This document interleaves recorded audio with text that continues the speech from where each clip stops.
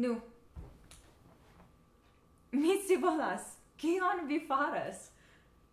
La sango stimulas la cranian hauton, do gi helpas haltigi la calvigion. Compreneble. Se mi farus cition tri foioin ciutage, mi remarcus resultoin post tridec tagoi. Ciu vi volas capcu senon inter la capo cae la planco? Bona ideo. Ciu cafon? Mirinde. Oh. Oh, mi am vida shanjon. Ci vere? Yes. Mm. Via visaggio estas ruja. Kai viaj haroi estas hirtai. Junior, lasu la amuzaĵojn alla la.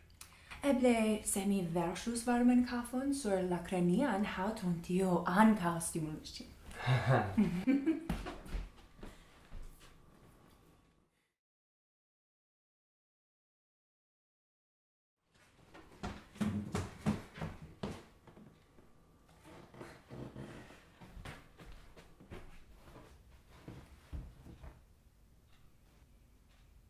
okay, I'll bite. What are you doing? The blood stimulates the scalp. Hence, it helps stop hair loss. Makes some sense. If I do this three times a day for one minute at a time, I should see results in about 30 days. How about a pillow between said head and floor? That's a good idea. Coffee?